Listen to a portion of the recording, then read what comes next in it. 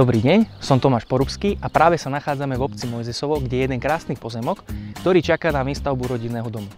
Poďme sa naň spoločne pozrieť. Tento pozemok sa píši rozmermi 55x14 metrov, čo v konečnom dôsledku činí 770 m štvorcových.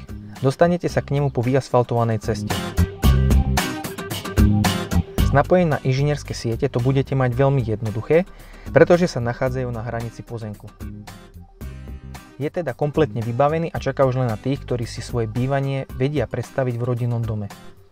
Obec Mojzesovo sa nachádza v Novozámockom okrese, odkiaľ to je na skok do mesta Šurany alebo Vráblov.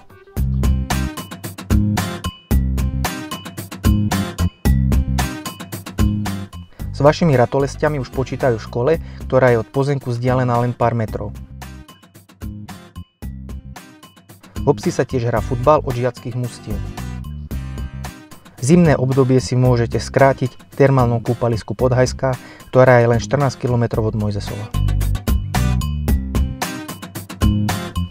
Pokiaľ vás moja ponuka zaujala, neváhajte ma kontaktovať a spoločne sa prídeme pozrieť na tento pozemok.